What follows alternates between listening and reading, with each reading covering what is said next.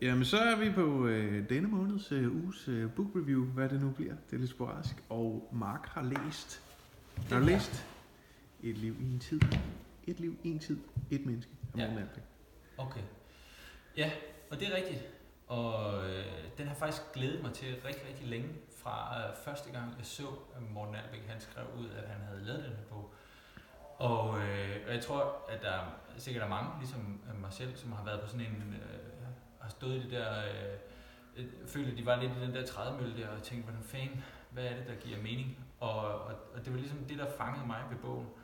Og så... Øh, så, så da han lavede introen til den, så snakkede han om det her paradoks imellem, hvordan at vi, øh, hvordan vi aldrig øh, har haft mere velstand.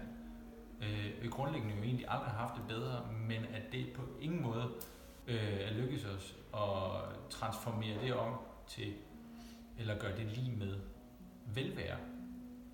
Fordi vi har det dårligere, end vi nogensinde har haft det, til trods for alle de goder, vi har. Og det, det paradoks, synes jeg var enormt spændende, og det var derfor, jeg tænkte, at det bliver jeg nødt til at læse.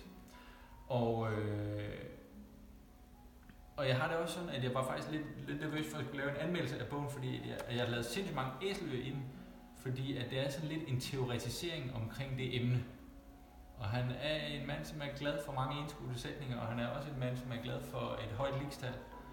Så, øh, så jeg har sådan en følelse af, at jeg ikke helt er færdig med den, selvom jeg har læst den. Og det er sådan en, en, en teoretisering omkring det meningsfulde, og hvordan man skal have øh, opnå øh, selvrespekt, og gå op af selvrespektens stige, lære sig selv at kende, og så på den måde finde ud af, øh, hvad man synes, der giver en mening i livet, og hvad man så prioriterer at bruge sin tid på. Og også øh, filosofen. Jo, jo han er jo, øh, han er jo øh, benhård businessman, som så går hen og bliver øh, filosof. Og, øh, og derfor så tager han også det her sådan filosofiske og meget akademiske greb og tager ind i ledelsesverdenen. Øh, så han tager også ligesom hele sin viden og sin bagage omkring ledelse og, og parer med det her, øh, den her teoretisering omkring meningsfuldhed og siger, hvordan opfører vi os så i virksomheder og i, i vores lederskab. Mm. Og, og der kommer et ordentligt skud fra hoften i forhold til, hvordan vi bedriver øh, lederskab i dag. Og siger, det gør vi jo nærmest ikke. Og hvordan at vi, vi har fokus på de forkerte ting. Øh, hvordan vi måler på effektivitet, og hvordan vi snakker om human resource management som mennesker, man kan, øh, man kan optimere på og udnytte ligesom en ressource.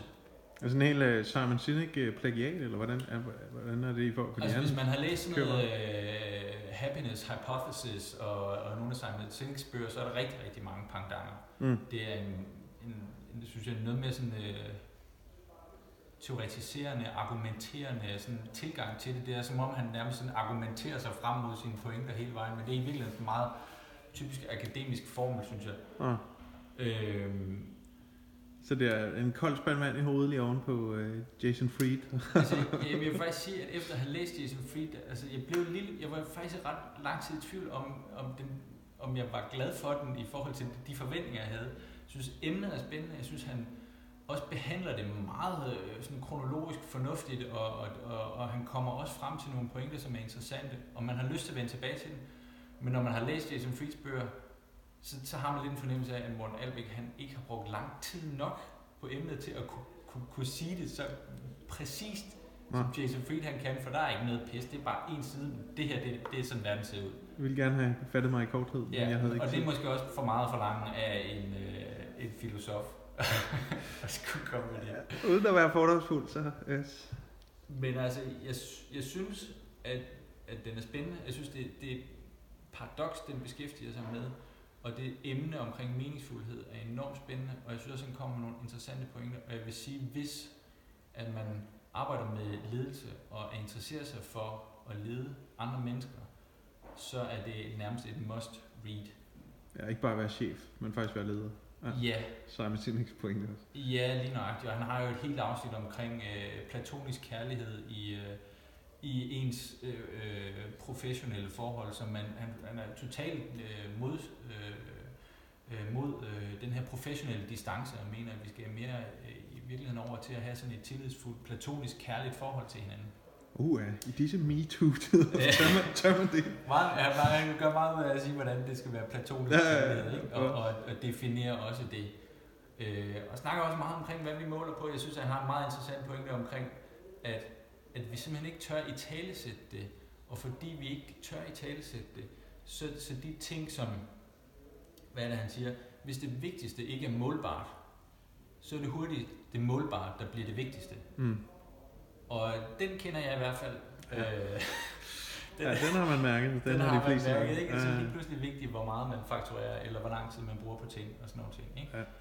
Øhm, Og ikke så meget kvalitet. Og, og, og det, går han, der, det tager han faktisk både fra det personlige plan til det ledelsesmæssige, virksomhedsmæssige plan, og også op på sådan et, et helt overordnet plan omkring, hvordan vi måler sådan noget som lykke i Danmark, og et lykkebarometer og sådan noget, mm. Som jo på ingen måde måler på meningsfuldhed. Fordi hvordan kan det være, at vi, at vi jo er depressive, som vi aldrig har været før? Og han, grund til, at han fisker efter meningsfuldhed, det er jo fordi, han har en pointe i, at han synes, at meningsfuldhed godt kan optræde, selvom du er ulykkelig. Du kan godt stå til en begravelse og tænke, at det her det er noget af det mest meningsfulde.